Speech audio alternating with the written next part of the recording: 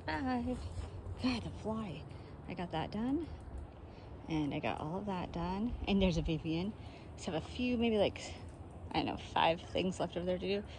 But the realtor for the client that we signed on yesterday, the listing agent just called and said, we can have the house today. So I got to go buy their presents because I was assuming that would be tomorrow.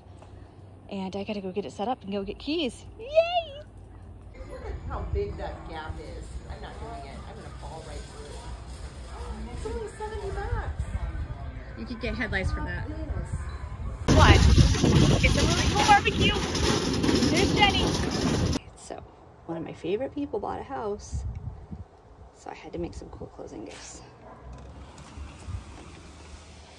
His mom wanted a lawnmower because they don't have one now because they don't have a yard now.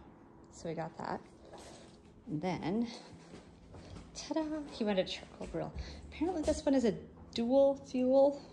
I don't really know how that works, but it's charcoal. And he's closing the week of 4th of July. They are closing. So we did a little 4th of July themed fun stuff.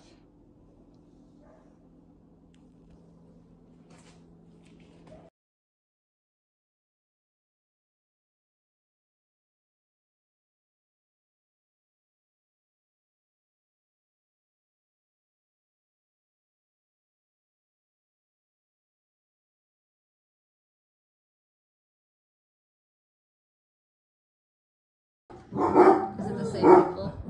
Oh, it's a different dog today. Every night, somebody walks their same three dogs by, and Clark freaks out. And extra loud tonight too. Yeah, he's been very vocal. That's Olivia. That's Olivia. Oh, she's getting mad at Scarlett for touching her.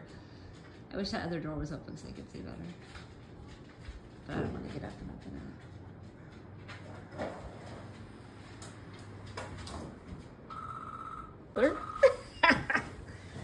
Look at this. What I finished last night. I shouldn't do this. This morning. Uh, I don't know. Virginia dead or, or do I play dead? No. Uh, I just go, you know, I just felt like Virginia might be gone. So James hello, Bond, Grim huh? Reaper. How is Virginia And doing? his brother called because his brother always calls when somebody dies. Uh, who do you talk to? Trees told me, but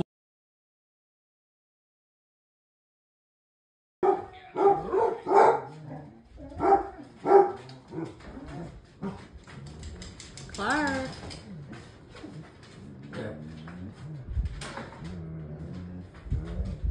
Scarlet.